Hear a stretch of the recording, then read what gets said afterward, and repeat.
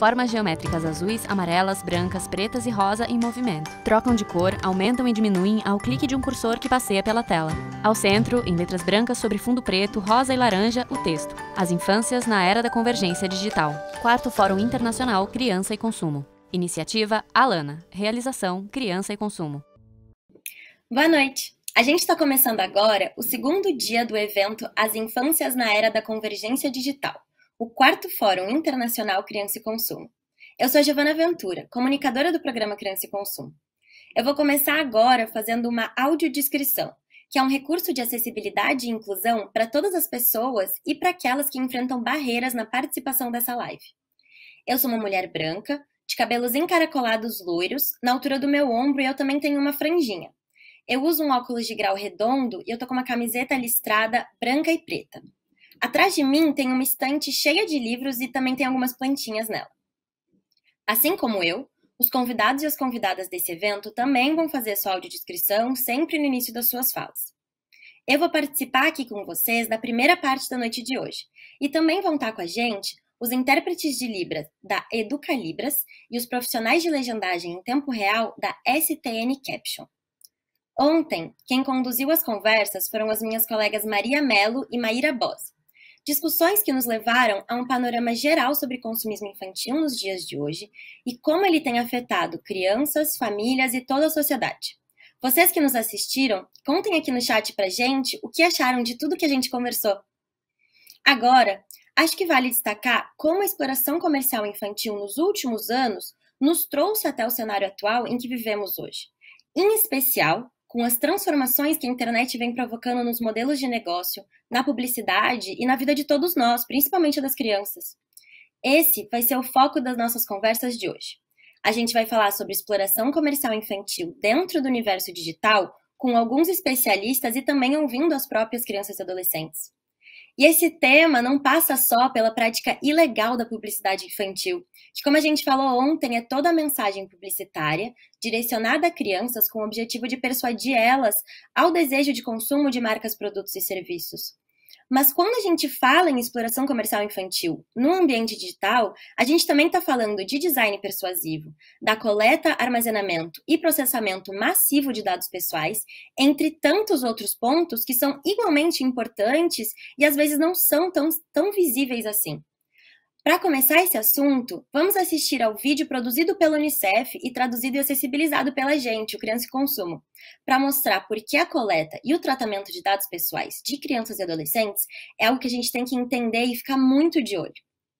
Antes mesmo de uma criança nascer, seus dados pessoais já estão sendo coletados. Desde seu nascimento, suas fotos são colocadas na internet. Isso são dados. Crianças são observadas por câmeras e brinquedos. Isso são dados. Quando as crianças crescem, aprendem a usar celulares e tablets para jogar e aprender. Isso são dados. Logo, avançam para as redes sociais e aplicativos de mensagens, criando ainda mais informações a cada clique. Isso são dados. Empresas de tecnologia, grandes e pequenas, coletam todos esses dados que muitas vezes são usados para seus próprios benefícios financeiros. Governos também coletam informações sobre crianças, de certidões de nascimento a registros escolares. Isso são dados. Na verdade, quando um jovem completa 18 anos, dezenas de milhares de dados sobre ele já foram coletados. O acúmulo desenfreado de dados pode criar uma cultura de vigilância que ameaça a privacidade e a liberdade de crianças e adolescentes. Esses dados podem ser usados para manipular suas escolhas e comportamento. Decisões importantes sobre a vida das crianças e adolescentes muitas vezes são tomadas com base nesses dados,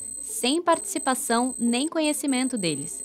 Decisões como onde alocar benefícios sociais ou construir escolas. Esses fatores e decisões, além de moldar a fase da infância, podem chegar até a vida adulta. Ao proteger os dados das crianças e adolescentes, criamos a certeza de que serão usados de forma responsável. Foi por isso que o UNICEF uniu 17 especialistas globais que juntos lançaram um manifesto uma lista de 10 exigências para proteger os dados de crianças e adolescentes. Esse manifesto idealiza um futuro melhor para os dados de crianças e adolescentes. Imagina um futuro em que a governança de dados é feita para o benefício infantil. O manifesto reivindica que as aptidões e as realidades das crianças ditem a regulamentação. Nós não estamos indefesos perante essa avalanche de dados. Você pode fazer a sua parte. Saiba mais sobre o manifesto e descubra como você pode criar um mundo melhor para as crianças e seus dados.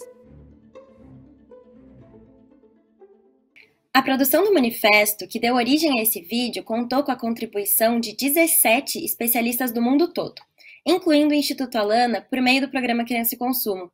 E essa versão traduzida está disponível no nosso site e nas nossas redes sociais. A gente vai deixar o link para vocês agora aqui no chat. Nos últimos anos, a gente presenciou o surgimento de inúmeras opções, formatos e serviços de entretenimento digital infantil. Mas é preciso ter em mente que, apesar de um terço dos usuários de internet no mundo todo serem crianças, isso segundo dados de 2017 do Unicef, o ambiente digital não foi criado pensando nas necessidades e particularidades do público infantil. E qualquer lugar em que crianças são tratadas como adultos pode ser um risco para as infâncias e também para os seus direitos. Vale lembrar que a criança não é um nem adulto, é um ser em peculiar fase de desenvolvimento e, portanto, ela é hipervulnerável, precisa ter seus direitos garantidos. No próximo painel, a gente vai falar exatamente sobre os desafios contemporâneos quando a gente está falando de exploração comercial infantil na internet. Quem vai mediar essa conversa é a Bia Barbosa representante do terceiro setor no Comitê Gestor da Internet no Brasil. Obrigada, Bia, por aceitar o nosso convite. Muito obrigada, Giovana. Boa noite, pessoal. Meu nome é Bia Barbosa, eu sou jornalista, é, milito nessa área de defesa dos direitos digitais e também nessa relação com os direitos das crianças há bastante tempo. Sou integrante do Comitê Gestor da Internet no Brasil, que é um órgão que atua para pensar em diretrizes é, e uso das, das ferramentas de internet no nosso país, representando lá a sociedade civil. Sou uma mulher branca, de cabelo mais ou menos castanho, na altura do ombro, Estou aqui é, no computador da minha casa, é, de frente para ele. Vocês vão ver no fundo uma estante, alguns quadros. E estou usando uma blusa azul, estampada de verde também, brinco dourado. Muito bom estar aqui com vocês. Estou muito feliz desse convite para mediar essa mesa no segundo dia do evento as infâncias na era da convergência digital, que faz parte do, quatro, do quarto Fórum Internacional Criança e Consumo, e para mediar aqui esse painel Exploração Comercial Infantil na Internet, Desafios Contemporâneos. Hoje vão participar dessa conversa aqui comigo três pessoas incríveis e que entendem muito desse assunto, vão poder contribuir muito com a nossa discussão, a Renata Tomás, o Rafael Zanata e a Maria Clara.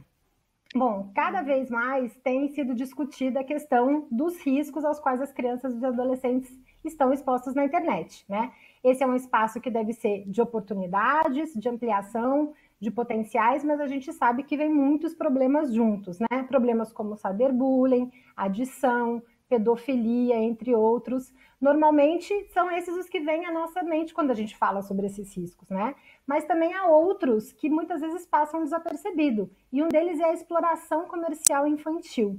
Questões relacionadas ao direcionamento ilegal de publicidade a crianças na internet, muitas vezes velada, a coleta e tratamento de dados para uso comercial. São essas violações de direitos digitais das crianças, e é sobre isso que a gente vai conversar hoje aqui com os nossos três convidados. Eu queria começar então com a Renata Tomás. Tudo bom, Renata? A Renata é doutora em comunicação e cultura pela Universidade Federal do Rio de Janeiro, é pesquisadora de pós-doutorado no programa de pós-graduação em mídia e cotidiano da Universidade Federal Fluminense, a UF, onde ela investiga os impactos da visibilidade das crianças nas plataformas digitais. A Renata integra o projeto Digitalização e Democracia no Brasil, na diretoria de análise de políticas públicas da Fundação Getúlio Vargas, e é cofundadora da Rede de Pesquisa em Comunicação Infâncias e Adolescentes, a RECRIA. A Renata também integra é, o Conselho Consultivo do Programa Criança e Consumo. Renata, muito obrigada pela sua presença aqui. Eu queria que você comentasse um pouco sobre como você enxerga essa dimensão de risco né, para as crianças e adolescentes na internet e explicasse para a gente quais são os formatos de publicidade infantil que existem hoje é, e como que eles se relacionam com essa dimensão da exploração comercial infantil. Obrigada. Obrigada, Bia. Obrigada pela apresentação tão generosa. É um prazer estar aqui. Cumprimento do boa noite a todos e todas. E gostaria de fazer minha autodescrição. Eu sou uma mulher negra, tenho cabelos pretos, curtos, Uso óculos, hoje estou com óculos de armação azul, estou com um brinco prateado de argola. Ao meu fundo tem alguns armários, eu estou na minha casa. Eu estou de frente para a câmera e eu estou usando um, um casaquinho fino, amarelo e um colar de bolas amarelo também. Bom, é, dito isso, Uh, começo parabenizando essa iniciativa, né, e dizendo o quanto que é importante a gente discutir os riscos das crianças na internet e o quanto é importante a gente vincular isso à exploração ou à interpelação que as crianças sofrem a partir da comunicação mercadológica. Nesse sentido, a gente olha para a internet e a gente percebe que aquelas publicidades um pouco mais antigas, elas permanecem, né? aqueles anúncios, eles permanecem em algumas plataformas, mas também os banners, as pop-ups. Mas me chama a atenção o fato de as estratégias um, publicitárias estarem cada vez mais empenhadas em se naturalizar, ou seja, observar as narrativas e os discursos que circulam na internet, no caso, pelas crianças, produzidos pelas crianças, ou seja, como as crianças aparecem, sobre o que elas estão falando, do que elas gostam de falar, e buscar se inserir nessas narrativas, né? E buscar inserir as suas marcas, os seus produtos nessas narrativas. Nesse sentido, a gente vê uma publicidade dentro dos conteúdos de entretenimento, aparecendo como se aqueles produtos fossem naturais, ou seja, naturalizando aqueles usos. a gente vê publicidades como Advergame, que é o uso de, de joguinhos né, é, próprios ou ligados a determinadas marcas. A gente vê o uso de in-game advertising, que são é, simulações de publicidade, mas que fazem publicidade, por exemplo, nos jogos de, de, de futebol, né, simula, o, o, simula a torcida, simula o som da torcida, mas também simula ali em volta é, do estádio aquelas propagandas que não são apenas simulações, são também uh, propagandas. A gente vê também uma tendência, né, um aumento da autopromoção, ou seja, esses youtubers, esses instagramers, tiktokers, enfim, todas essas figuras que têm ganhado bastante audiência, bastante é, visualizações, produzindo seus próprios produtos, as suas próprias marcas e assim é, utilizando esse espaço para poder divulgar seus livros, suas revistas, suas linhas de roupas é, em seus conteúdos, convidando as crianças a comprarem, né, fazendo com que elas se engajem na promoção e na publicização desses, é, desses produtos e serviços. Então, o lastro é muito grande das estratégias de tornar essas, essas marcas né, conhecidas. Obrigada, Renata. Sem dúvida, isso aumenta os nossos desafios, inclusive para proteger as crianças nesse ambiente, né? E acho que esses, é, essas novas formas de publicidade que você descreve, elas estão relacionadas com é, uma outra questão fundamental na internet, e aí eu já vou convidar aqui, trazer o nosso segundo convidado da nossa conversa de hoje para falar um pouquinho sobre isso, que é a questão do uso dos dados pessoais das crianças e adolescentes nesse processo. Então, queria chamar aqui, chamar para a nossa roda virtual o Rafael Zanata, que é diretor da Associação Data Privacy Brasil de Pesquisa. Ele é mestre pela Faculdade de Direito da USP, doutorando pelo Instituto de Energia e Ambiente, também da USP mestre em Direito e Economia pela Universidade de Turim, alumni do Privacy Law and Policy Course da Universidade de Amsterdã, Research Fellow da The New School, nos Estados Unidos, e membro da Rede Latino-Americana de Vigilância, Tecnologia e Sociedade, LAVITS. O Rafael também é membro do Instituto Brasileiro de Responsabilidade Civil, o IBERC. Muito obrigada, Rafael, por estar aqui com a gente. Boa noite. Então, Rafael, voltando é, para essa, essa discussão, a gente sabe o, o, o, ponto fundamental, né, quando a gente fala de exploração comercial no ambiente digital, é, que é, a questão dessa coleta e tratamento massivo de dados é, traz do ponto de vista de riscos para as crianças e adolescentes. Então, queria te ouvir um pouco, pedir para você começar falando um pouco sobre o que são dados pessoais, né? Como que funciona essa dinâmica dos modelos de negócios, das, das plataformas, dos games, de todos esses serviços que funcionam nessa camada é, da internet que estão baseados no tratamento desses dados de crianças e adolescentes por parte das empresas e apontar os impactos né, desse, desse uso, desse tratamento, dessa coleta e tratamento massivo, especialmente em relação à publicidade. Boa noite, é um prazer enorme estar aqui fazer minha autodescrição. Eu sou um homem branco, latino, de cabelos negros, barba negra. Estou usando uma camisa social branca, um, um blazer escuro, xadrez, e atrás de mim tem uma estante colorida de livros. Também tem um violão e um quadro do cantor Belchior. É, a pergunta que você colocou, Bia, é muito, é muito importante e dialoga muito com a fala da Renata, no sentido de que existe uma relação umbilical entre a economia da atenção, entre os processos de coleta de dados pessoais, entre a exploração da subjetividade dos usuários e um modelo de negócio baseado na modulação do comportamento das pessoas, na indução de um comportamento específico, né, muito centrado em, em publicidade. E o universo dos dados pessoais ele é importante porque ele, a forma de coleta desses dados não é simplesmente o dado cadastral, né? As pessoas dizem, ah, o meu filho, o adolescente, fez a inscrição numa plataforma e cedeu nome, endereço, eventualmente nome de pai, mãe e cidade. Mas a galinha dos ovos de ouro da economia da atenção e de dados está principalmente nos dados que são tomados do dispositivo, os dados de geolocalização, tipo de aparelho celular, configurações do computador, é, IPs, eventualmente mobilidade do próprio celular, uma infinidade de dados que são tomados e uma terceira categoria, que são os dados inferidos. E aí que está uma camada extremamente importante também desse mercado de dados. É a possibilidade de você combinar certos tipos de atividade ou de preferências e inferir um aspecto da personalidade daquela pessoa, catalogando ela.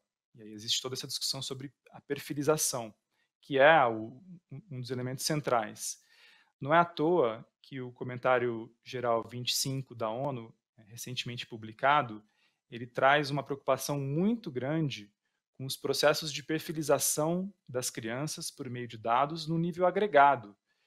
E essa é uma discussão importante porque não é simplesmente uma invasão da privacidade no nível individual.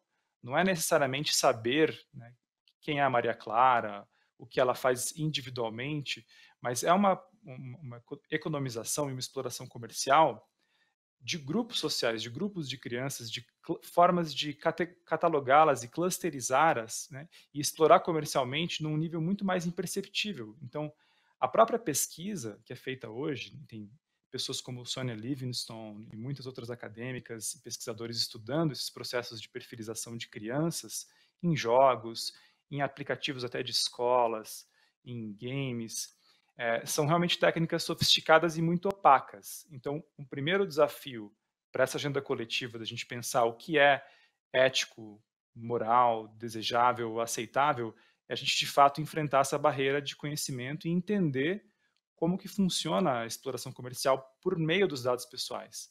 A gente tem uma vitória grande no Brasil é, com uma construção da afirmação de direitos digitais especialmente a Lei Geral de Proteção de Dados Pessoais, que tem um capítulo específico sobre crianças e adolescentes e tenta conter abusividades na, na, no tratamento desses dados, mas o cenário geral entre educadores, pais e mães, entre os próprios adolescentes, ainda é de profundo desconhecimento sobre esses processos. Então, a gente tem um, um, um terreno muito importante de avançar né, coletivamente para compreender isso e poder agir coletivamente. Obrigada, Rafael. Eu queria colocar aqui na nossa roda, então, é, uma pessoa que está vivenciando isso pela própria experiência dela, né, enquanto adolescente. Queria chamar aqui a Maria Clara Lacerda dos Santos, que ela tem 15 anos, é de Tabira, Minas Gerais, e atualmente, atualmente ela estuda no Colégio Municipal Professor Didi Andrade. A Maria Clara é uma jovem transformadora choca e uma jovem embaixadora do Criativos da Escola. Ela é uma das estudantes responsáveis pelo projeto Fora da Bolha, que foi premiado pelo Criativos da Escola em 2019 e que tem com, com, como objetivo ajudar as pessoas a saírem das suas bolhas, né? a conhecerem novas realidades para que assim elas possam entender a importância do respeito e da empatia. O Fora da Bolha também conta com um canal no YouTube, então quem quiser corre lá, se inscreve para acompanhar e ele serve para conscientizar as pessoas de uma forma positiva. Então, Maria Clara, seja muito bem-vinda. Queria saber qual que é a sua percepção sobre o efeito das redes sociais na vida é, dos adolescentes. Né? Você acha que esse uso constante é, das redes sociais, ainda mais no contexto da pandemia, né, que a gente está mais ainda mediado pelas plataformas, você acha que isso pode desencadear problemas? Se sim, quais seriam esses problemas e como você e os seus amigos costumam falar sobre isso, discutir essas preocupações? Oi, pessoal, boa noite, tudo bem? Meu nome é Maria Clara. É, eu vou começar pela minha autodescrição. É, eu sou uma menina negra, de cabelos pretos, e atrás de mim tem uma parede rosa com um banner com o meu nome e algumas fotos. E tem um boné é, amarelo também em cima. Bom, eu queria começar falando sobre a importância da internet na vida dos jovens. Eu acho que a internet ela pode ser usada de uma maneira positiva para a vida dos jovens, mas eu acho que os pais desses adolescentes, eles deveriam estar mais presentes no que esses jovens estão vendo, quais são os famosos que eles seguem, o que eles veem né, na internet, porque a internet ela pode ser usada de uma maneira positiva. Eu acredito que a internet pode ser uma ferramenta tanto de estudo e autoaprendizagem. Mas eu também acho que a internet tem pontos negativos, como tudo, né, gente? A gente tem pontos positivos e pontos negativos. Mas acho que a internet tem pontos negativos, sim, e que devem ser avaliados pelos pais e até pelos próprios jovens. A internet pode influenciar de uma forma negativa na vida dos jovens, trazendo traumas e medos e até mesmo vergonha de si próprios. Porque dentro da internet a gente encontra padrões que não deveriam ser impostos, ainda mais para jovens que são na sua faixa etária entre 10 a 18 anos, que estão em formação, eles deveriam ter mais informações sobre como se aceitar, porque a gente vem de uma um ensinamento, uma cultura um pouco preconceituosa. Então, eu acho que os jovens deveriam ter mais exemplos de é, corpos, cabelos, peles, e acho que eles deveriam utilizar a internet para poder se espelhar e entender que eles não são é, diferentes de ninguém, que cada um tem a sua própria beleza, a sua própria é, personalidade e que eles devem se aceitar do jeito que eles são. E acho que é, os pais deveriam, como eu disse, deveriam tomar mais cuidado com o que os filhos veem na internet, né? Porque a internet pode ser sim um instrumento para ajudar os jovens, mas pode acabar atrapalhando sim na formação deles. Então, acho que essa é a minha maior preocupação.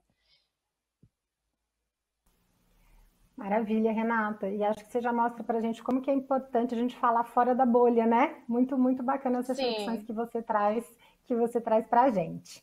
Bom, agora que a gente já falou um pouco sobre formatos de publicidade infantil, sobre coleta de dados e sobre esses efeitos é, desses problemas nas crianças e adolescentes que são usuários da internet, eu queria discutir com vocês um pouco um fenômeno específico que passa por tudo isso que a gente está falando aqui, que é muito popular quando a gente fala de crianças na internet.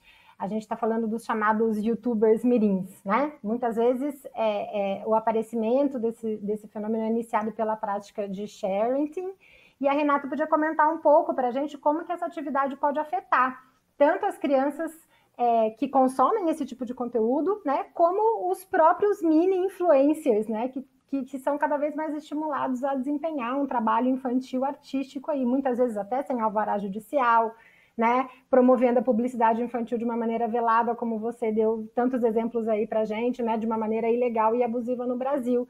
Então, Renata, o que, que você acha desse fenômeno que é cada vez mais crescente? Bom, primeiro é, foi ótimo falar depois da Maria Clara, né? Porque eu acho que ela deu esse, essa ideia para a gente de que é super importante que as crianças e os adolescentes tenham esse espaço de liberdade de expressão, né, de se autoexpressarem, de dizerem, de falarem, de narrarem. E, de certa maneira, o fenômeno das crianças produtoras de conteúdos, youtubers mirins, tem a ver né, com esse desejo, com essa vontade, com esse impulso de é, produzir. E isso é bom, né? Que bom que Maria Clara mostrou isso para gente, né? Uh, mas por outro lado, essa produção ela é atravessada por uma série de dinâmicas das plataformas, que são plataformas corporativas, que são domínios privados e que nesse sentido afetam muito essas atividades e, consequentemente, a vida das crianças e dos adolescentes. É, quando eles começam a produzir, e buscam essa visibilidade, essa importância, esse reconhecimento, e a gente precisa dizer que buscar reconhecimento social é algo legítimo, buscar visibilidade de grupos, é, buscar visibilidade de, é, de segmentos da sociedade é importante. Mas quando as crianças se lançam nesse, nesse caminho, elas acabam percebendo que há outras fazendo a mesma coisa.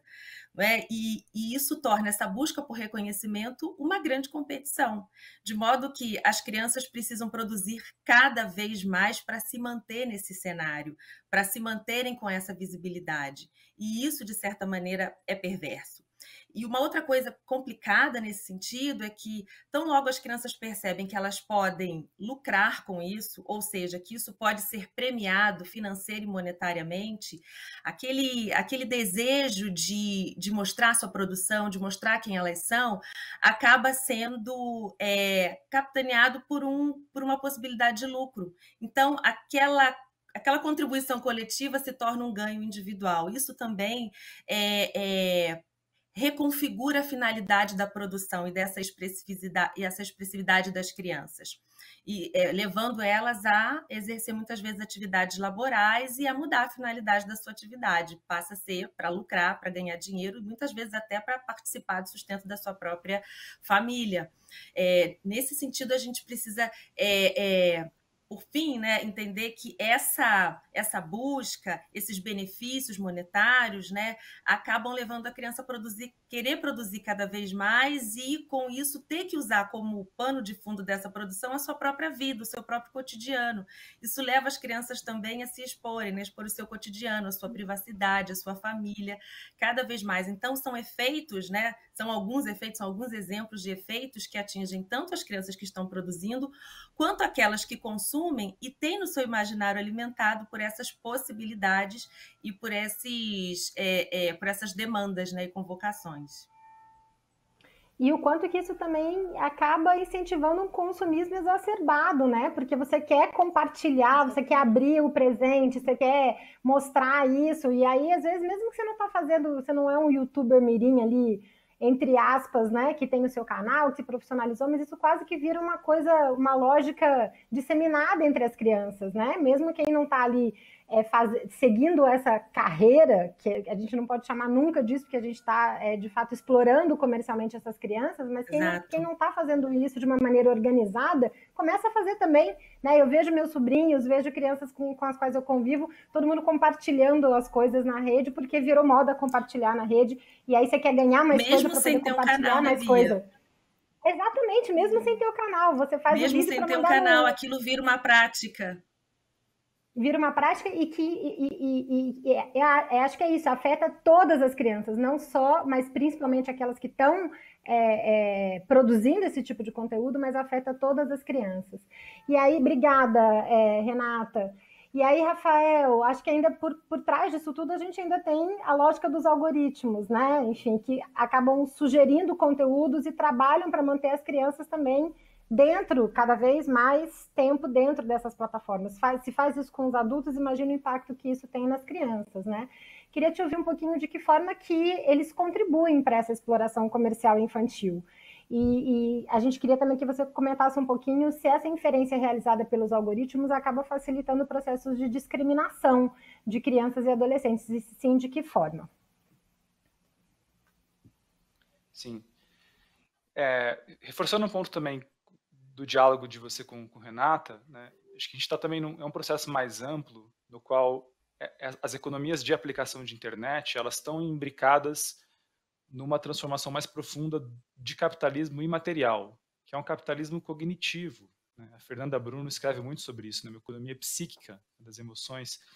em que o objetivo é constituir o consumidor, é, torná-lo é, um indivíduo com desejos, com vontade de consumir, ostentar, mostrar, né, explorar a sua subjetividade, os seus estados emocionais, seus estados psíquicos, identificar quando se está ansioso, alegre, contente, descontente, e também é, uma produção de uma sociabilidade que é antissocial, porque introjeta uma noção do indivíduo mediado pelas plataformas, rompendo com uma noção de comunidade.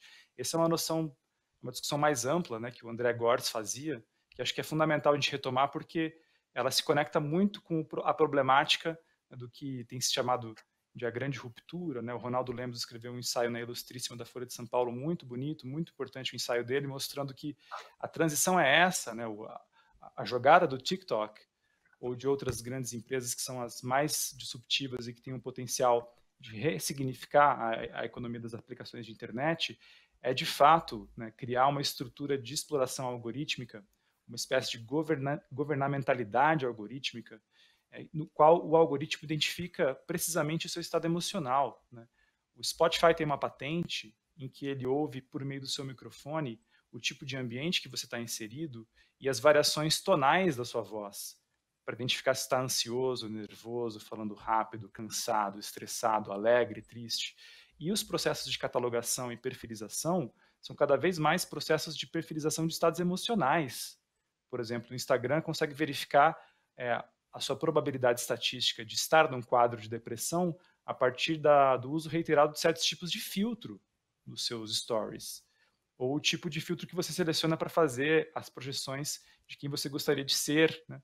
Então, esse tipo de economia ele vai nos catalogando e nos colocando também em uma espécie de prisão invisível, de uma projeção sobre quem nós somos e modulando o nosso comportamento para um certo sentido.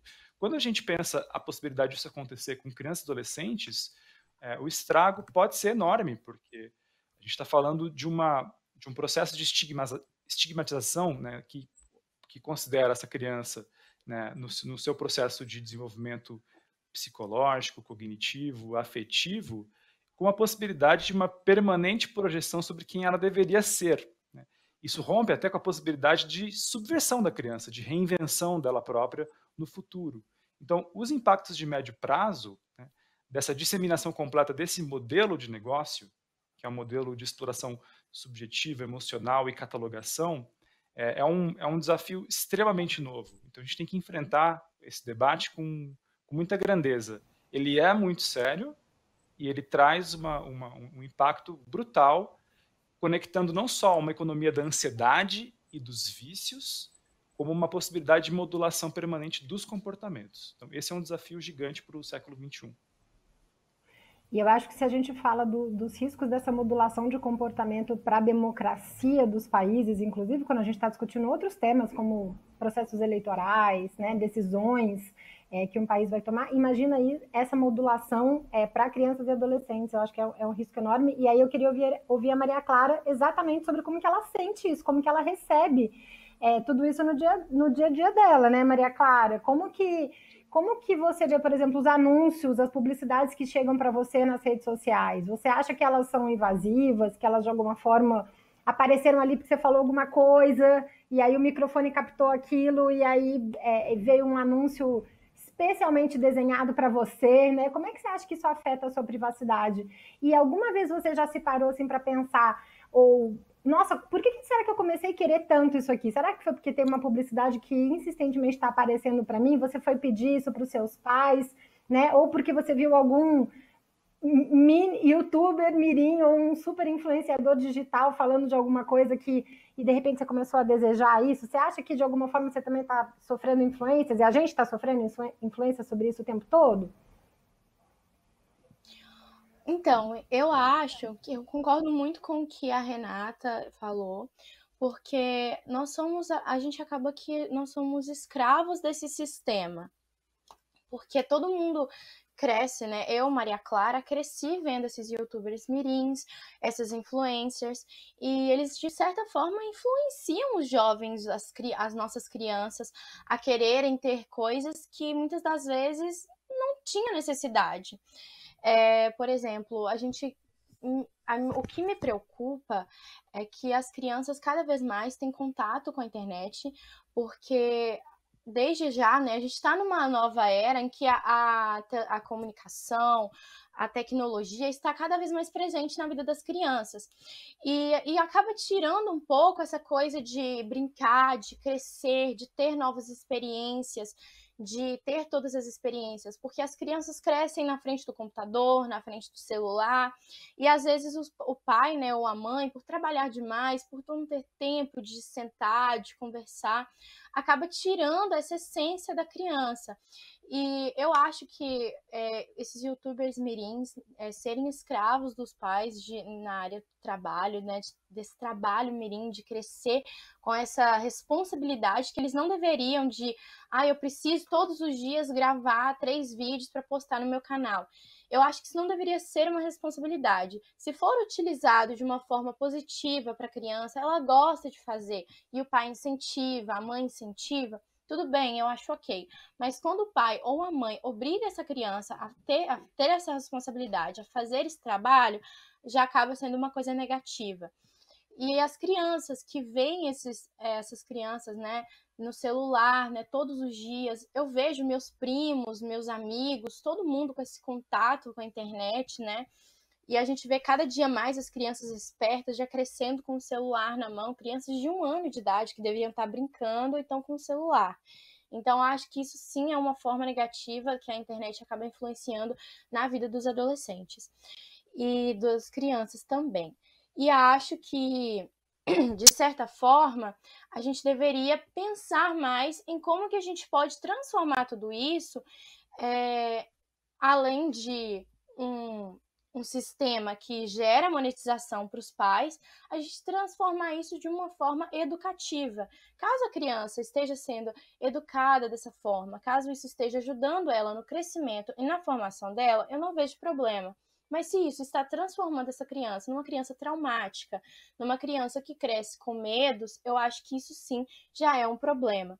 E eu vejo muito isso. Às vezes a gente está ali mexendo no telefone, a gente está comentando sobre um assunto e do nada aparece aquela música que tá todo mundo falando, uma música mais melancólica, uma música mais feliz, porque a gente busca expressar os nossos sentimentos através das músicas, dos filtros. Então, isso é verdade, sim, eu vejo isso de certa forma na internet e no meu cotidiano.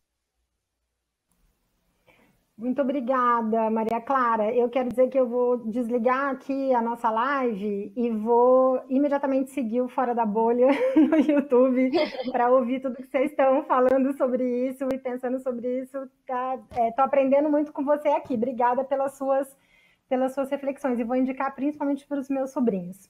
Bom, gente, e a, é, a gente está caminhando aqui para o final dessa conversa ótima. Vamos entrar no nosso último bloco de pergunta aqui. Quero fazer mais uma última pergunta para cada um. E acho que a Maria Clara já puxou um pouco o gancho do que eu queria trazer é, de pergunta final aqui para Renata, que tem a ver justamente com a responsabilidade dos pais nesse processo. Né? É, Renata, é muito comum a gente escutar é, que basta os pais mediarem ou darem limites para os seus filhos, que esses riscos estariam aí, né, que eles desapareceriam na internet. No entanto, é, quando a gente fala de internet, quando a gente considera, principalmente isso que, que Maria Clara trouxe para a gente muito bem, né, mostrando muita maturidade aqui na nossa conversa, que, são, que é levar em consideração os diferentes contextos socioeconômicos das crianças e dos adolescentes que vivem no Brasil, os contextos das famílias, né, é, a questão do próprio acesso à internet, que aplicativos que estão disponíveis ou não, por exemplo, nas chamadas tarifas zeros, nesses acordos de é, do chamado zero rating, que entregam alguns aplicativos como se eles, o uso é liberado para todo mundo, e isso também entra na cabeça das crianças, né?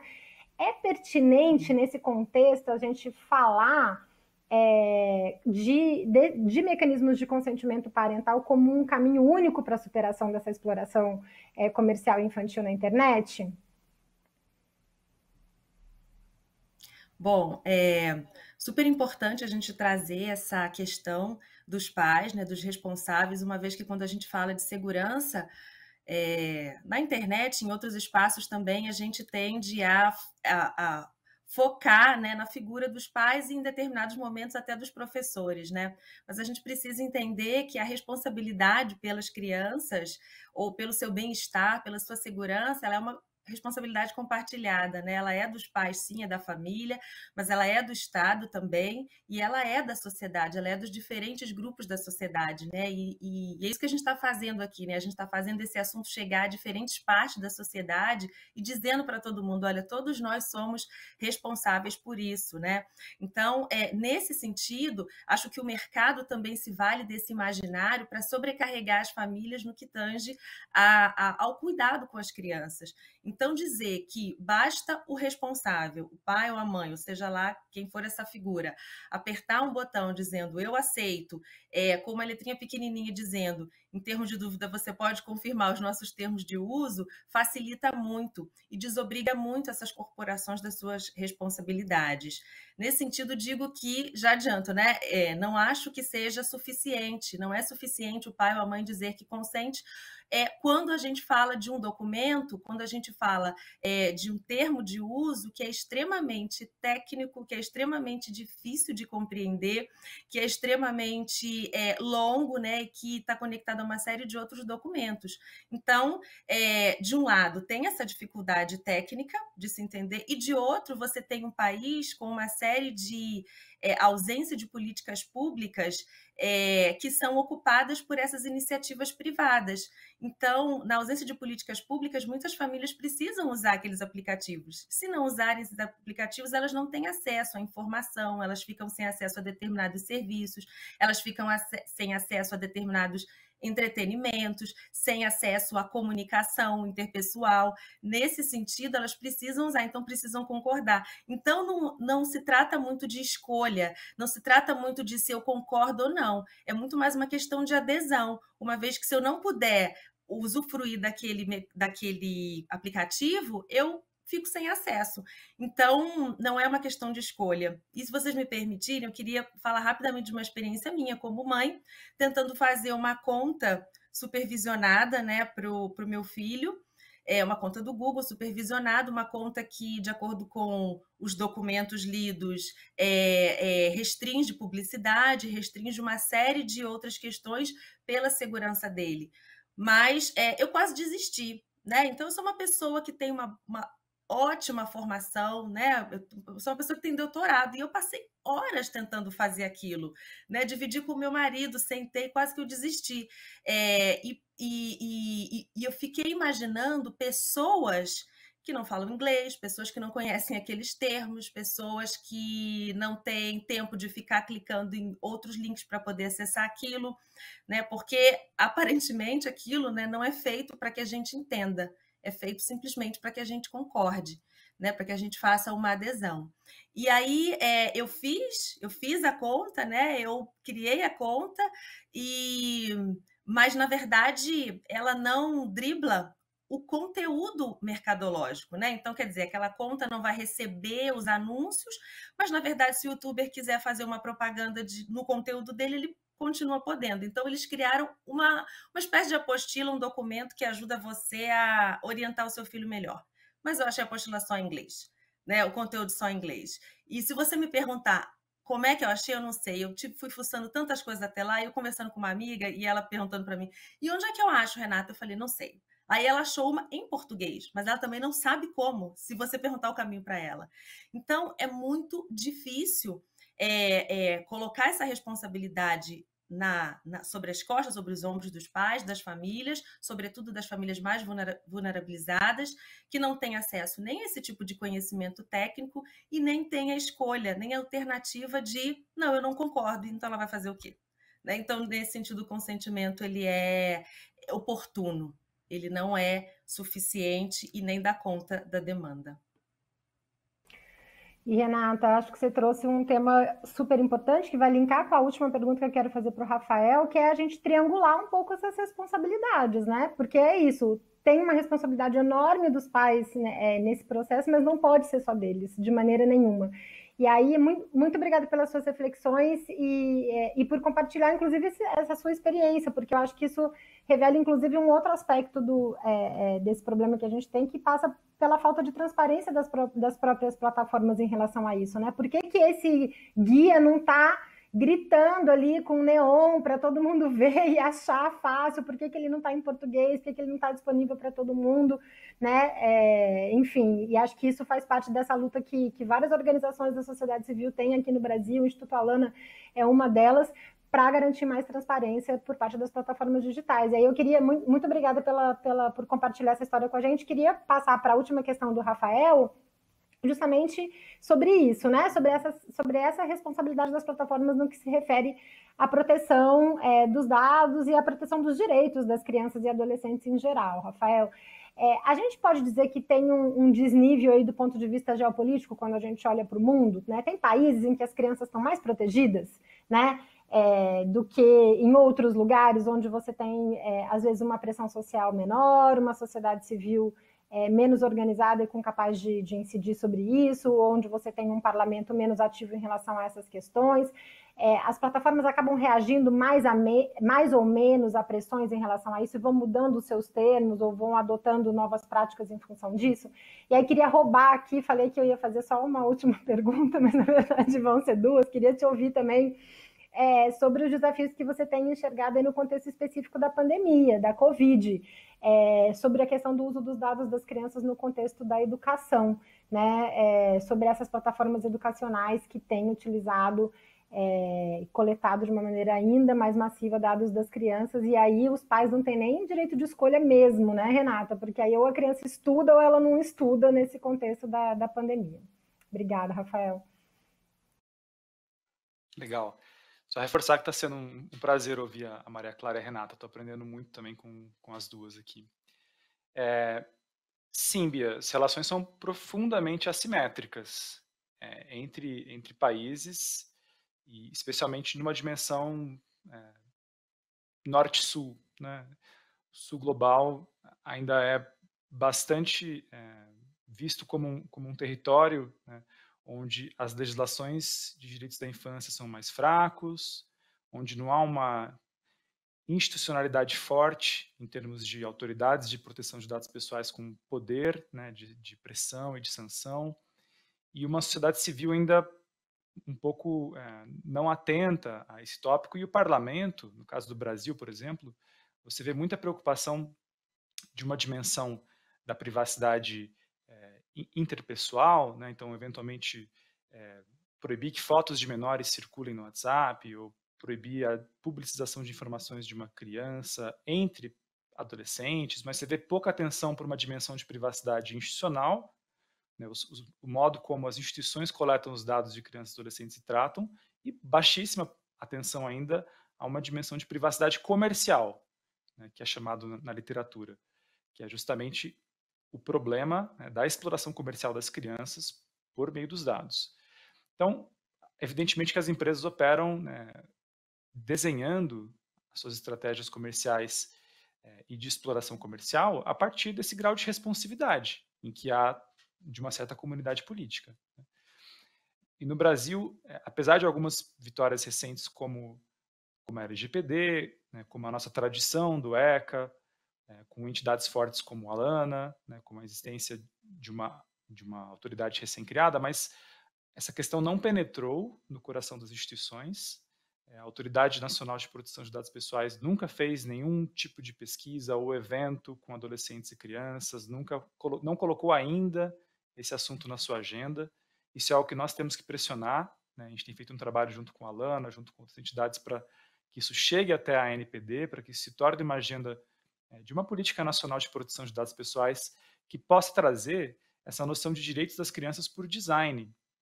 Isso se conecta à narrativa da, da Renata. Né? Esse modelo de termos de uso, do jeito como está, é um modelo completamente falido. Isso tem que ser enterrado, esse modelo fracassado. É, isso é, é, é para inglês ver, né? não tem lógica e sentido nenhum a manutenção desses termos de uso gigantescos, às vezes em, somente em inglês, legitimando é, o processo de, de, exploração comercial desses dados. A gente precisa trabalhar com uma lógica de rotulagem de dados pessoais, de um processo interativo né, e iterativo, ou seja, reiterado também, de uma comunicação simples e visual e compreensível. A gente tem que ter uma inclusão das vozes das crianças e dos adolescentes na discussão dos protótipos, como que uma arquitetura funciona, se ela é agradável, se ela é transparente, se de fato você tem boa fé nessa relação. E nesse ponto, trabalho feito por vários acadêmicos de ONG sobre a importância da inclusão das vozes dos adolescentes e crianças nessa construção é, é gigante. Isso tem que ser construído. Não se pode man manter, por exemplo, é, processos de construção de políticas na NPD sobre isso sem ter esse processo de, escutativa né, e de construção conjunta. Então, a discussão né, de um design adequado para as crianças é uma agenda importante também de participação cívica e comunitária das crianças e adolescentes, acompanhados pelos seus pais, em alguns casos, mas com as suas próprias vozes. Né. E acho que essa é, uma, é, o que eu mais admiro também no trabalho do Alana, assim, esse esforço permanente de, na, nessa própria conversa nossa, ter a Maria Clara e ter é, essa voz né, ativa na, na construção. Não pode ser uma conversa só de adultos que acham que sabem tudo, de qual é o impacto para essas crianças e adolescentes. Né? Isso seria extremamente pedante e errado. Excelente, Rafael. E acho que você já coloca aí uma tarefinha aí coletiva para todo mundo que está ouvindo a gente, para as organizações de defesa dos direitos das crianças e adolescentes, que é pensar como pressionar a nossa Autoridade Nacional de Proteção de Dados em relação a essa questão, né? A gente foi uma luta enorme conseguir instituir uma autoridade nacional de proteção de dados no país e agora cabe é, a nós titulares desse direito brigarmos para que é, um conjunto de temas seja olhado ali também, e acho que a agenda da proteção dos direitos das crianças e adolescentes é fundamental. A, a, luta pelo capítulo ali relacionado à proteção de direitos de crianças e adolescentes foi uma luta muito bonita de ser feita no parlamento na época de discussão da Lei Geral de Proteção de Dados. Agora a gente precisa concretizar essa, essa proteção na prática, né? Muito, muito obrigada mesmo, Rafael.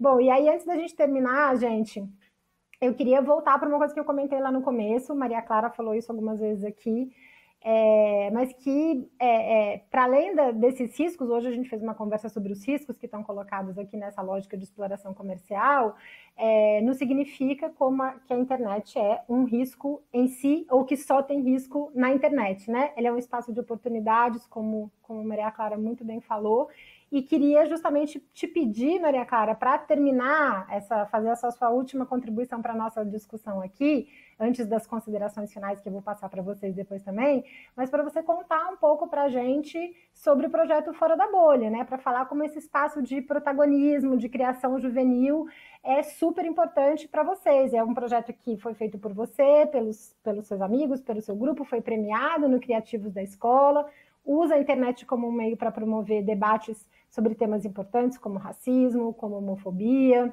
né? E, e, queria que você contasse um pouquinho para a gente então sobre esse projeto e saber se vocês chegaram também a perceber de que forma esses preconceitos, que são objeto do, dos temas que vocês discutem, são reforçados na internet.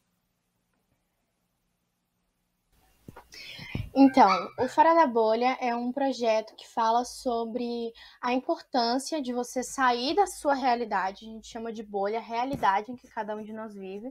E o intuito do nosso projeto é fazer com que as pessoas saiam das suas bolhas para conhecer novas realidades, para que assim elas possam ter mais respeito e empatia com as, com as outras pessoas.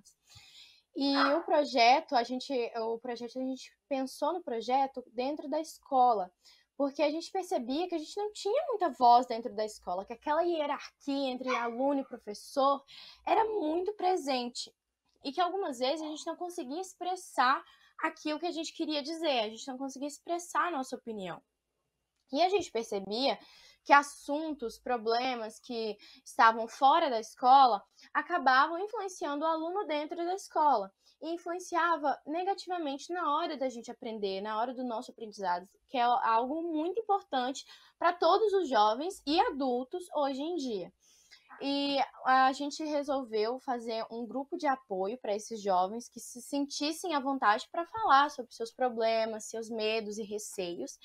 E dentro deste é, grupo de apoio, a gente teve a ideia de fazer um projeto. E aí veio Fora da Bolha.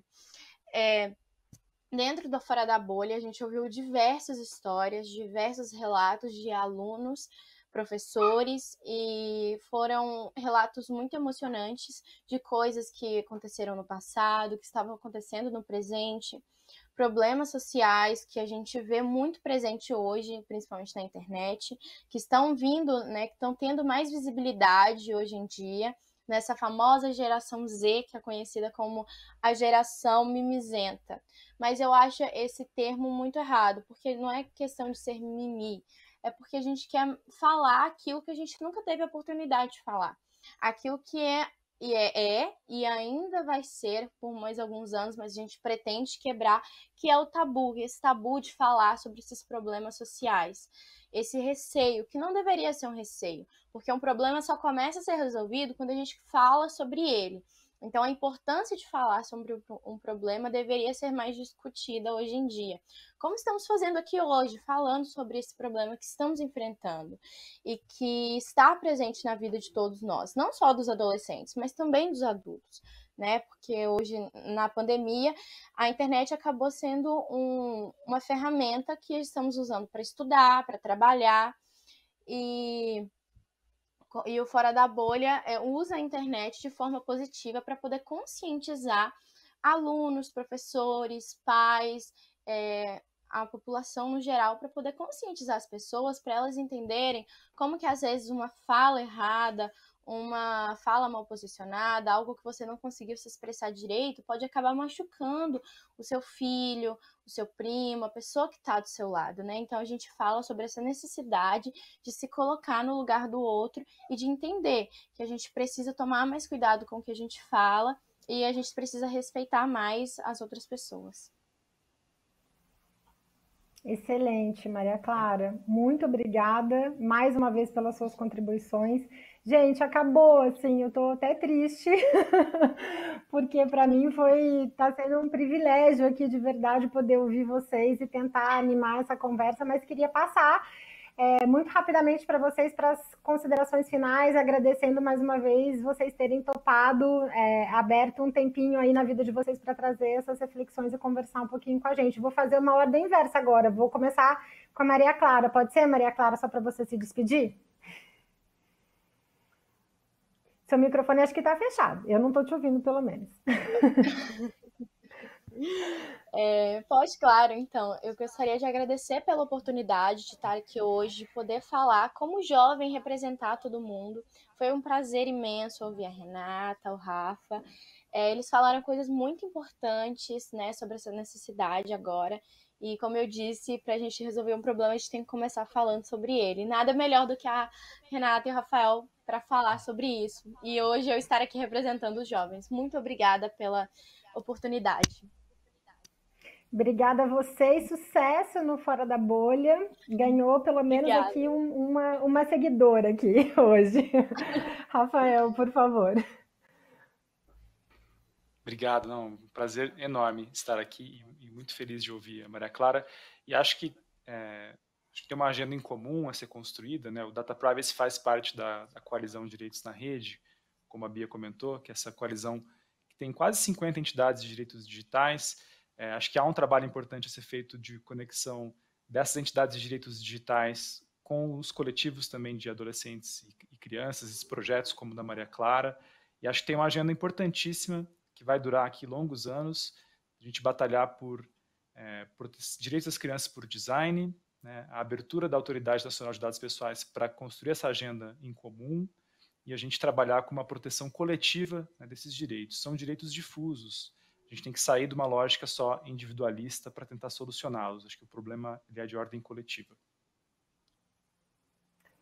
Muito obrigada, Rafael. E acho que a ideia desse, desse painel aqui também foi chamar a atenção, e vai ser ótimo a, a Renata fechar essa, essa rodada aqui, porque chamar atenção, muitas vezes os pais até se preocupam, às vezes, com alguns conteúdos que circulam na internet e, estão mais atentos para isso, mas a publicidade, ela vem caindo no meio, né? Vem, vem, na, vem, vem na paralela, vem escondido, vem disfarçado, vem na lateral. E aí a gente e, e, esse processo de exploração comercial infantil que é feito pelo uso dos dados das crianças, mas é, é por todos esses instrumentos que, que, Renata trouxe na primeira fala dela nossa aqui, acho que mostra que a gente tem um desafio ainda maior do que mesmo que aqueles aquelas famílias que já estão atentas às vezes conseguem visualizar de imediato no uso que é feito das redes pela, pelas crianças e pelos adolescentes. Então é, fiquei muito feliz também de aprender um pouco com, com, com, as reflexões que vocês trouxeram sobre, sobre esses outros aspectos é, da exploração é, comercial infantil na internet. Então, ninguém melhor que Renata para fechar é, a nossa roda aqui falando sobre isso. Obrigada, Renata. Bom, muito feliz, é, triste pelo fim da mesa, né? Porque certamente dá vontade de a gente ficar conversando mais. É, mas obrigada, Maria Clara, por, por, compartilhar, compartilhar e dividir com a gente essa experiência tão frutífera, né, tão produtiva. Muito obrigada, Rafael. Estou é, precisando aprender com você a falar tanto em tão pouco tempo, né? Eu estou encantada com a maneira como você fala, né? Maravilhoso. Preciso treinar mais e te ouvir mais. Obrigada, Bia, também, pela postura, né? Enfim, pela desenvoltura tão é, tão própria, que lhe é própria. Mas queria me despedir assim falando duas coisas. Uma é dessa iniciativa de ouvir as crianças, os adolescentes, né, que estão sendo aqui representados pela Maria Clara. Eu acho que a gente, como adulto, passa muito tempo tentando entender como que a gente vai fazer para as crianças e os nossos filhos, né, e os nossos alunos, ou enfim, ouvirem a gente, né? Como é que a gente faz para eles ouvirem, obedecerem, né? E eu acho que a gente está em tempo mesmo de, de a gente aprender a ouvi-los, né? O que, que a gente tem que fazer para a gente ouvir as crianças e, e, os adolescentes. Então, fico muito feliz com isso. E a segunda coisa que eu queria dizer sobre mais ligada à nossa mesa, né, é que, gente, como diz o povo, né, como diz a sabedoria popular, não tem almoço de graça. Verdadeiramente, né, a gente precisa desconfiar né, de todas essas iniciativas na nossa direção.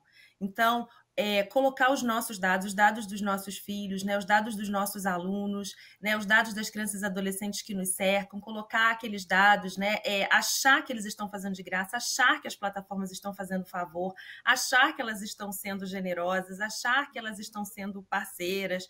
É, não é isso, elas não estão fazendo isso de graça, elas realmente estão ganhando. Então a gente precisa desconfiar dos conteúdos, das iniciativas, das ofertas, né, e fazer valer sim a nossa voz e fazer valer os nossos dados, né? A nossa história, aquilo que, aquilo que nos identifica, porque é valioso. Né? É isso. Muito obrigada, gente. Muito obrigada, Renata. Obrigada, pessoal, de verdade. É, esse foi o segundo painel né, do evento As Infâncias na Era da Convergência Digital, do quarto Fórum Internacional Criança e Consumo. Agradecer mais uma vez o convite do Instituto Alane do Projeto Criança e Consumo para mediar essa conversa maravilhosa aqui e continuem com a gente, porque tem muito mais coisa para vir. Obrigada, até a próxima. Obrigada, Bia, pela condução incrível dessa conversa tão maravilhosa. Eu tenho certeza que, assim como eu, todo mundo que está assistindo também ficou bastante provocado com tudo que foi dito. Aliás, nos conta aqui nos comentários o que vocês estão achando dessa discussão. Obrigada, Rafael, e obrigada, Renata. E principalmente obrigada, Maria Clara, por topar participar dessa conversa e nos mostrar mais sobre a visão de crianças e adolescentes nesse cenário. Eu achei interessante que a Maria Clara comentou sobre a presença cada vez maior de jovens na internet. E isso só reforça o quanto esse ambiente precisa ser seguro para eles, de maneira em que eles possam aproveitar as oportunidades ao mesmo tempo que são protegidos dos riscos do mundo digital. Aliás, falando em potencialidades da internet, quem quiser conferir o canal do projeto Fora da Bolha da Maria Clara e de seus colegas, a gente vai mandar o link aqui no chat agora e também por e-mail depois para todo mundo que se inscreveu no evento. Mas só vale conhecer o Fora da Bolha depois que o fórum acabar. Por enquanto, continua aqui com a gente, porque a gente ainda tem muita coisa legal no dia de hoje. E quem vai estar com vocês conduzindo as próximas atrações é a minha colega Thaís Rugolo. Bem-vinda, Thaís! Oi, Gi. Oi, pessoal. Boa noite a todos que estão nos assistindo hoje. Eu me chamo Thais Rugolo, sou assistente jurídica aqui do programa Transconsumo e aproveito agora para fazer a minha autodescrição. Eu sou uma mulher preta, tenho cabelos cacheados castanhos, estou usando uma blusa preta com mangas floridas e atrás de mim tem uma parede cinza. Como a Giovana acabou de comentar com vocês, é importante que as discussões sobre publicidade infantil e consumismo sejam pautadas sempre pela diversidade de vozes e visões isso vale tanto para o nosso cenário aqui no Brasil, como para o que tem acontecido em outros países. Ano passado, por exemplo, assistimos no Reino Unido a um grupo de pais que processou o Google pelo uso indevido de dados pessoais de seus filhos, após constatarem que o YouTube desrespeitava a GDPR. A GDPR é uma lei europeia semelhante à nossa Lei Geral de Proteção de Dados aqui do Brasil. Inclusive, a gente vai deixar aqui no chat links de referência, caso vocês tenham interesse em descobrir mais sobre essas leis. Mas voltando a falar sobre o caso, a ação foi multimilionária e ela foi promovida pelo pai, pesquisador e ativista de privacidade de dados, Duncan McCann, que topou contar um pouquinho pra gente sobre a sua experiência. É, a entrevista com ele foi feita pelo Josh Golin, que é diretor executivo da Fair Play, uma organização dos Estados Unidos que busca proteger crianças da exploração comercial e é parceira desse, do, do Criança e Consumo desde o início, há 15 anos. Agora a gente vai assistir essa entrevista do Josh e do Duncan. Olá, meu nome é Josh Golin e sou diretor executivo da Fair Play, uma organização de ativistas nos Estados Unidos que se dedica a construir um mundo no qual crianças podem ser crianças, livres da publicidade nociva e enganosa das grandes empresas da tecnologia. Sou um homem branco de 50 anos de idade, sou bastante calvo e uso barba. Estou na sala da minha casa com uma camisa xadrez azul e atrás de mim há alguns uh, quadros e uma parede amarela. É um prazer ter a presença de Duncan McCann hoje, recém-integrante da Fundação Britânica Five Rights, como responsável pela implementação de uh, políticas. Além disso, uh, antes da Five Rights, ele participou da New Economics Foundation, onde conduziu o programa de economia digital, publicou diversos relatórios, como o iSpy, o mercado bilionário da publicidade infantil. Também é o demandante principal em um processo contra o YouTube, acusando a empresa de coletar dados de crianças ilegalmente, desde a implementação do RGPD. Bem-vindo, Duncan. Welcome, Duncan. Obrigado pela gentil introdução e aproveito para me apresentar. Meu nome é Duncan, sou um homem branco britânico e, como Josh havia dito, trabalho para a organização Five Rights, de direitos digitais das crianças. Tenho 43 anos de idade. Meu cabelo é ruivo e está um pouco curto, mais ralo do que eu gostaria. Meus olhos são verde escuros e estou usando uma blusa vermelha. Também tenho uma grande barba ruiva. Estou sentado no meu escritório, que meus filhos chamam de sala das caixas. Ela tem paredes brancas, cartazes e uma grande estante de livros na parte de trás. Atualmente estou trabalhando em casa em Londres.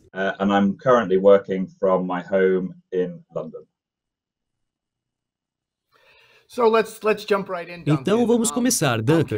Eu gostaria de saber qual foi o motivo para abrir um processo contra o YouTube e a Google. O que levou você a se preocupar com a publicidade de vigilância e coleta de dados de crianças? E indo um pouco mais a fundo, como isso afeta o ambiente midiático em que as crianças estão inseridas, no qual tantas plataformas são projetadas para coletar dados pessoais delas e que serão utilizados para direcionamento de publicidade.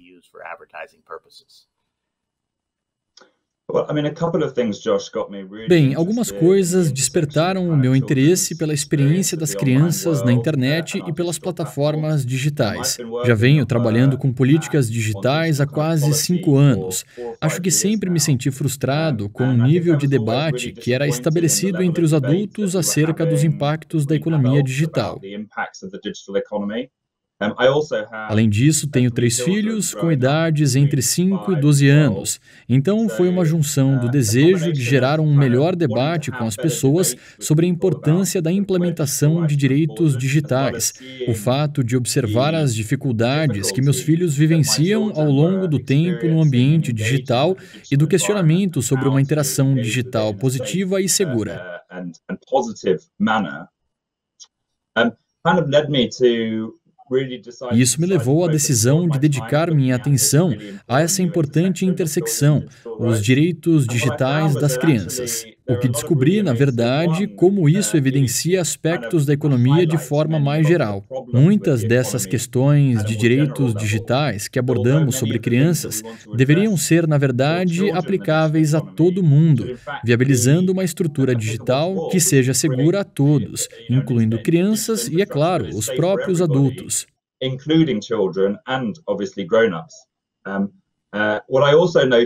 O que também notei à medida que conversava sobre isso com os pais na entrada do colégio foi que essa era a melhor maneira de ter boas conversas com adultos sobre a economia digital que desejamos, porque eles estão muito mais dispostos a conversar sobre isso quando se trata de crianças em vez deles próprios. Então, nos últimos anos, tenho dedicado a maior parte do meu tempo aos direitos digitais das crianças. Quanto ao que você mencionou na introdução sobre o esforço de expor o sistema bilionário de publicidade de vigilância que foi estruturado e cujo dano se estende às crianças, ao planeta, à sociedade e mesmo à democracia, todas essas questões vêm surgindo coming to the fore, um, but also mas o que talvez surpreenda muitas pessoas é que também observamos que o Regulamento Geral sobre a Proteção de Dados, o RGPD, é deliberadamente ignorado por muitas plataformas, que insistem em descumprir diversas cláusulas, muitas delas fundamentais desde a coleta legal de dados, e não apenas em relação às crianças, ainda que o RGPD conceda proteção especial às crianças, mas coleta de dados de forma geral perfilamento e publicidade direcionada.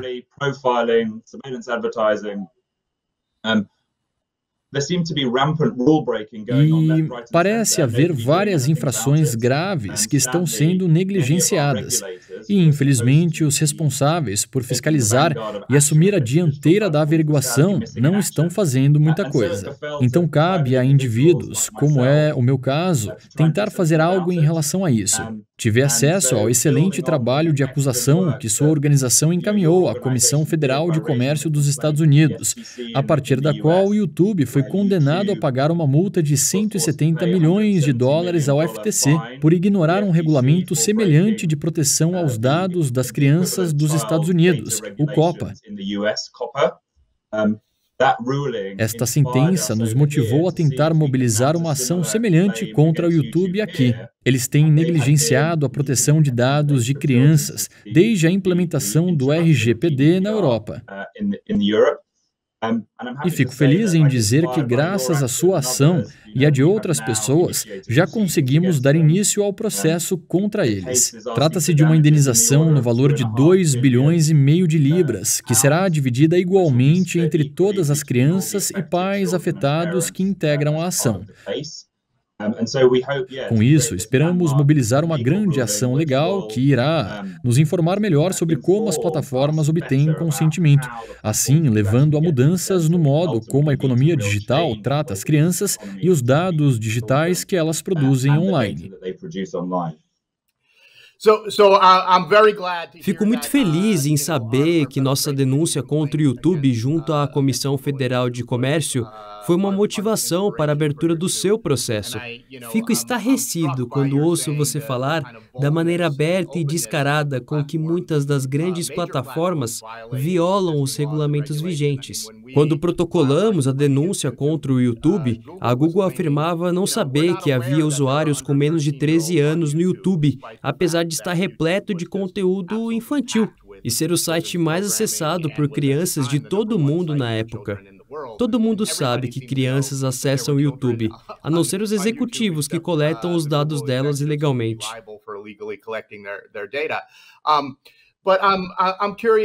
Mas eu queria saber, com a nossa ação, conseguimos realizar algumas mudanças no conteúdo infantil. Agora indicam que o conteúdo é voltado para crianças. Não há mais coleta de dados ou publicidade segmentada nesses tipos de conteúdo. Quais mudanças você espera provocar na Google e no YouTube como resultado do seu processo?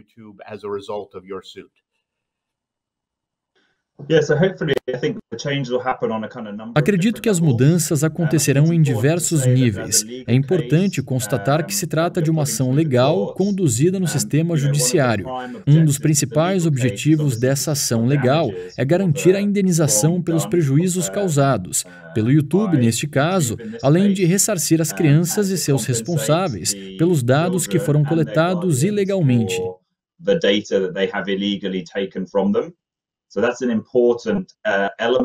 Esse é um dos pontos mais importantes. Se as multas previstas não forem aplicadas quando as empresas infringem a lei, não é possível criar o estímulo e a cultura necessárias para que essas leis sejam respeitadas no futuro.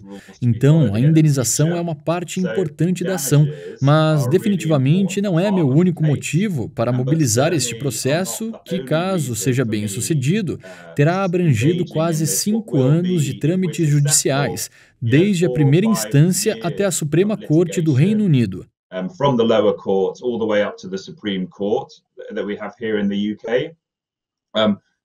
O que estamos fazendo por aqui, pelas mesmas razões que vocês moveram a ação nos Estados Unidos, é uma reivindicação por uma mudança nas práticas na economia digital.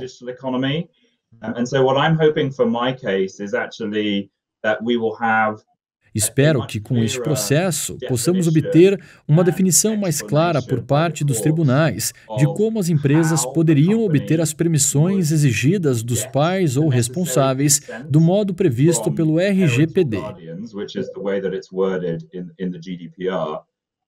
Para conseguir definir juridicamente, as exigências requeridas atualmente são muito pouco claras, mas com certeza o YouTube e a Google não cumprem nenhuma delas atualmente. Esperamos que a decisão judicial modifique radicalmente o modo como as plataformas interagem com os usuários que elas sabem ou suspeitam ter menos de 13 anos. Acreditamos que isso dificultaria bastante a coleta de dados. Então, um dos propósitos da abertura do processo é a expectativa de promover uma redução significativa da quantidade de dados que é coletada das crianças.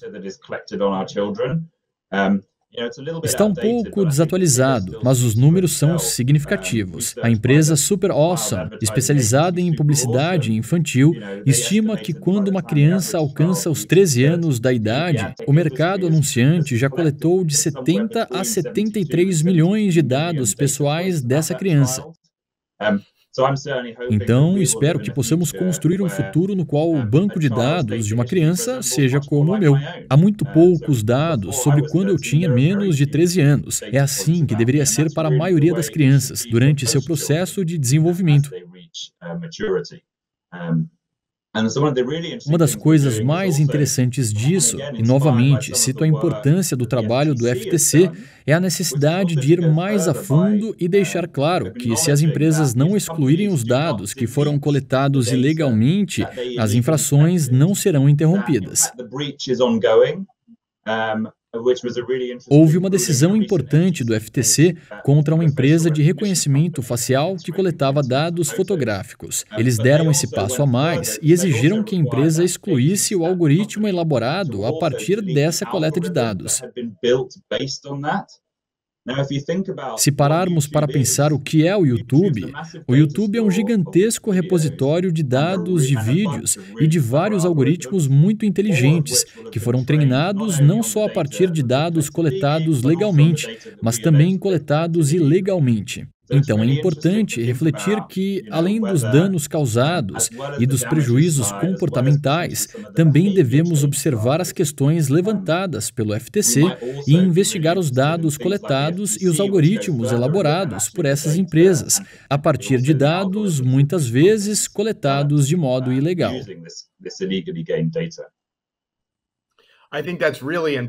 Este último aspecto é muito importante, Duncan porque uma das coisas que notamos é que, além dos danos causados às crianças, é muito difícil para os concorrentes que não coletam dados ilegalmente competir com empresas como o YouTube, que utilizam esses dados ilegais para aprimorar seus serviços. Se uma empresa estabelecer um domínio a partir de dados coletados ilegalmente, quais são os efeitos disso sobre a concorrência e as oportunidades de outras empresas? Isso me leva à minha próxima pergunta. Conversamos bastante sobre o YouTube, mas qual a sua opinião sobre os produtos desenvolvidos para o público infantil, os produtos e plataformas digitais? Acha que eles são desenvolvidos para manter as crianças conectadas, gerando dados o maior tempo possível? Será possível algum uso positivo de tecnologias baseadas neste modelo de forma a conter práticas abusivas?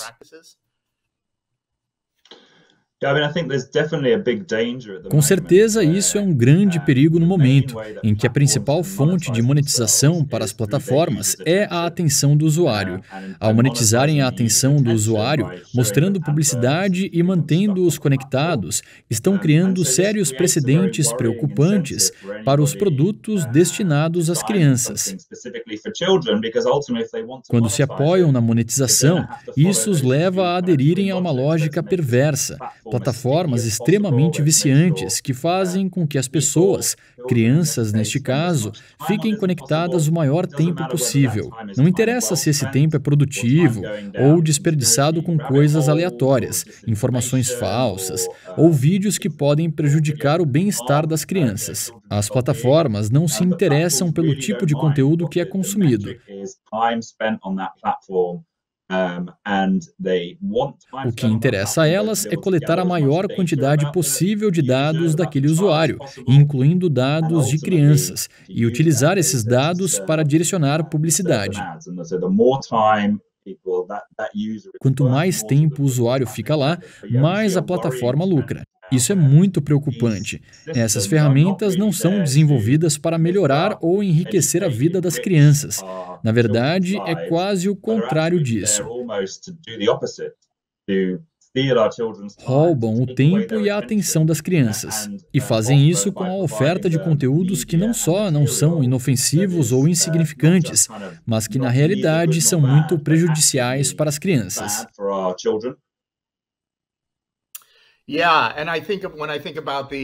Sim, e quando observo esse tipo de microsegmentação, me recordo daquela situação em que vazou um documento do Facebook em que comunicava aos anunciantes que poderiam direcionar conteúdo aos adolescentes nos momentos de baixa autoestima ou insegurança, e a possibilidade de não só direcionar anúncios com base nos interesses das crianças, mas também de direcioná-los em momentos de grande vulnerabilidade. Acredito que esse seja um dos motivos que tornam essa publicidade de vigilância e orientada por dados tão preocupante. Então, quais seriam os outros modelos de negócio possíveis? Falamos de como esse modelo de negócios, baseado em publicidade de vigilância, é tão prejudicial para as crianças em diversos níveis. Há outras possibilidades? Como poderíamos criar um sistema no qual as crianças possam acessar conteúdos que auxiliem seu desenvolvimento, que gerem entretenimento de modo não prejudicial e que não se apoiem nessas práticas abusivas? É importante lembrar que há vários modos de financiamento, além deste que viemos discutindo até agora. Este modo de publicidade é muito recente, existe há pouco mais de uma década. Há modos de publicidade anteriores a este modelo.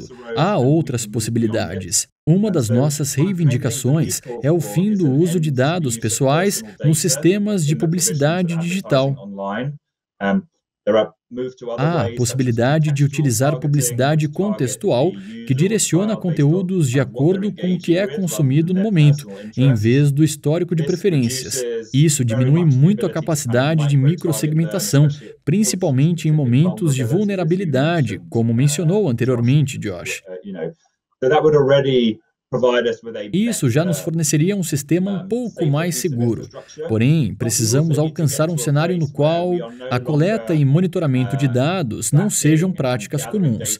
Não deveria ser a responsabilidade das nossas crianças.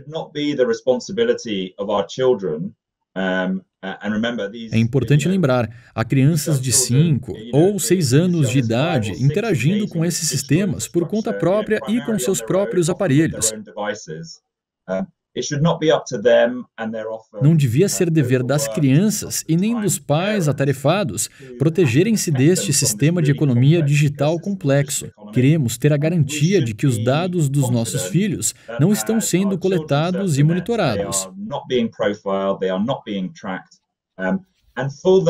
Para aqueles que querem participar deste modo de personalização, a opção de consentimento deveria estar disponível aos adultos quando eles desejarem. Não deveria ser responsabilidade das crianças se protegerem dessas práticas invasivas. Concordo totalmente. Também diria que precisamos explorar modos de monetização que não sejam baseados em publicidade. Opções como modelos de assinatura para quem tem condições são melhores que modelos baseados em publicidade. Mesmo a publicidade contextual é prejudicial para as crianças.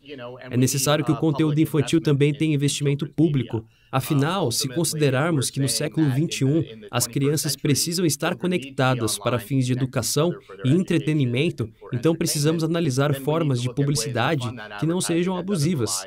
Perdão, me refiro a formas midiáticas que não sejam abusivas. Duncan, foi um prazer conversar com você hoje. O seu uh, processo é muito inspirador. Acredito que estamos em um momento muito produtivo, com todas essas ações e atitudes que estão acontecendo contra as grandes empresas de Big Tech que mantêm práticas abusivas. Vemos grupos surgindo de forma independente. Nenhum de nós tem sequer a verba que o Google gasta em uh, café para os funcionários, mas juntos uh, conseguimos obter ótimos resultados. Nossos colegas na Alana obtiveram uma decisão judicial que classifica a publicidade infantil como uma prática abusiva. Também tivemos uma decisão favorável no processo contra o YouTube. No Reino Unido, há o excelente código de design apropriado para idade. Então é um grande momento no qual já observamos os efeitos de todas as ações de resistência que resultam em algo mais amplo.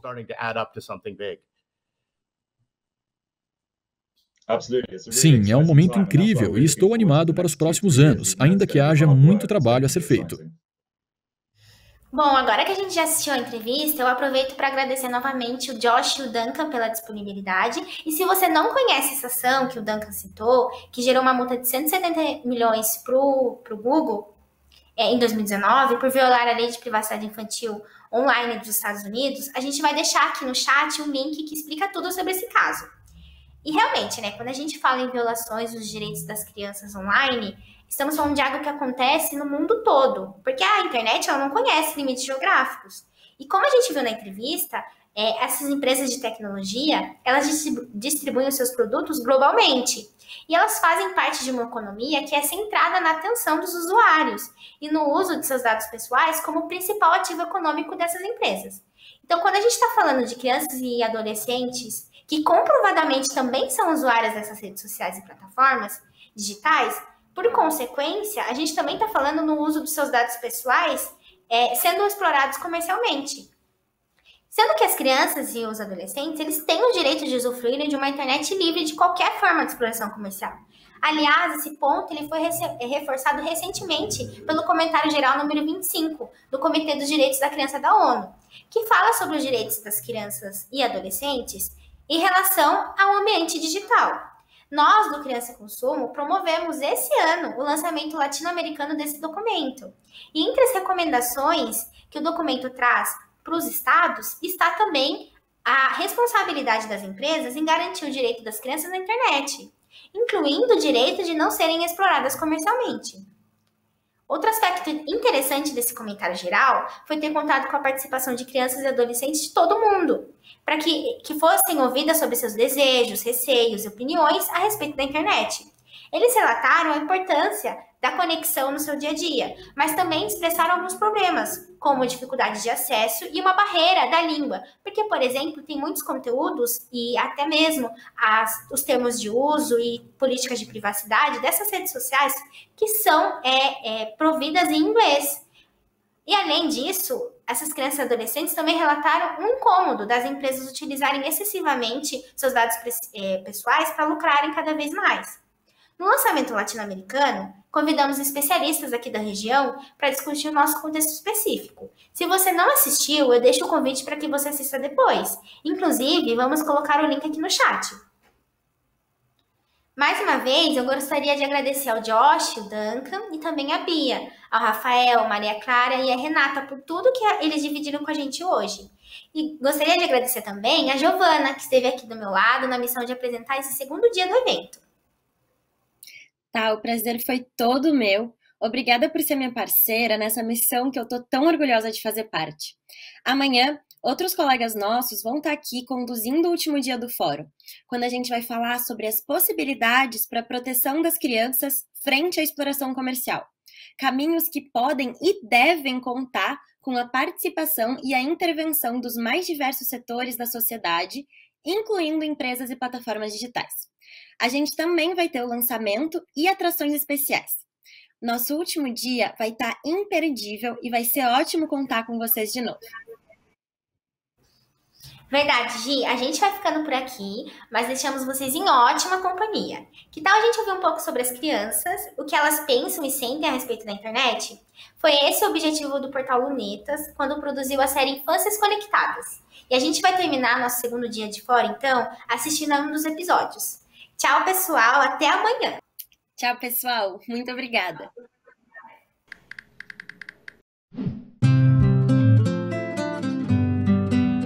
Você já teve algum problema de vazar é, informação tua? Nunca, porque eu sou muito legal com os meus fãs. que fãs, querida? É, muitos fãs, mãe. Gostam de mim. O Lunetas falou com crianças de todo o Brasil para saber como elas entendem a segurança de dados na internet. A coisa que eu acho chata na internet é se alguém hackear ou pegar a senha para fazer alguma coisa. E se for uma criança, podem fazer torturas, é, mandar fotos de mortes, essas coisas. Quando eu fiz meu Instagram, eu e minha mãe tivemos um combinado que eles tinham que ter a senha. E minha conta, ela não é pública, ela é privada. Porque existem muitas pessoas ruins na internet. Isso de bullying virtual, é, xingamentos na internet, é uma das coisas que deixa a gente chateada, tanto pelas informações que são vazadas. Você já viu anúncios de produtos na internet que teve vontade de comprar? A pista de carrinhos da Hot Wheels. Era uma blusa de um canal que aí ela era uma bonita do Toy Story. Eu já quis comprar um aqueles iluminadores de LED que as blogueiras usam. E eu gosto muito. Eu tava vendo um site, aí apareceu um tênis de unicórnio muito bonito. Eu quis comprar uma slime na internet, já quis comprar um pijama de unicórnio, já quis comprar uma paleta de canetas. Foi um moletom da banda Now United, que eu sou fã. Eu não tinha dinheiro suficiente para poder comprar. Mas agora eu tô juntando. Se Deus quiser, eu vou ter um dia. Vez eu vi, tipo, um pantufinho bem fofinho. Aí, porque eu não tenho tanto, porque aqui a gente não, mora no lugar quente. Porque depois quando eu passei, é, parou minha vontade. A gente também tem que observar se a gente está precisando muito daquilo, porque tinha vezes que eu recebia brinquedos que eu queria, mas aí depois eu acabava que quase nem brincava com eles. Fica, sei lá, com um monte de propaganda, não dá nem pro cara falar direito. Eu fico com raiva disso que eu tô jogando um jogo. Aí quando eu tô prestes a vencer o jogo, vem a propaganda. Você já teve algum problema de vazamento de informações suas na internet? Sim, com a minha prima. E no dia do meu aniversário, ela postou uma foto minha quando eu era pequena, horrível. Tentaram hackear o Instagram da minha irmã e acabaram é, apagando algumas fotos. Nunca, porque também eu escolho os meus seguidores, né? a minha conta é privada. E se não fosse também, eu podia bloquear a pessoa, simplesmente apagar o comentário ou alguma coisa do tipo. Não, isso não aconteceu comigo. Por que fazer isso, né? É uma, é uma informação pessoal da pessoa, que a pessoa não quer que diga, então.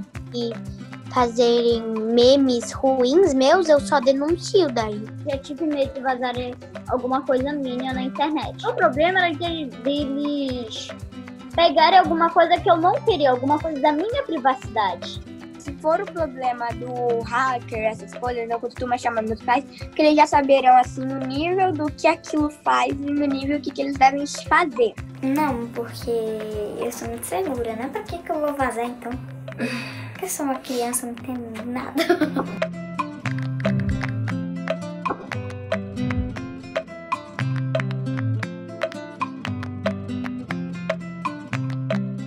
Formas geométricas azuis, amarelas, brancas, pretas e rosa em movimento. Trocam de cor, aumentam e diminuem ao clique de um cursor que passeia pela tela. Ao centro, em letras brancas sobre fundo preto, rosa e laranja, o texto: As infâncias na era da convergência digital. Quarto Fórum Internacional Criança e Consumo. Iniciativa Alana. Realização Criança e Consumo.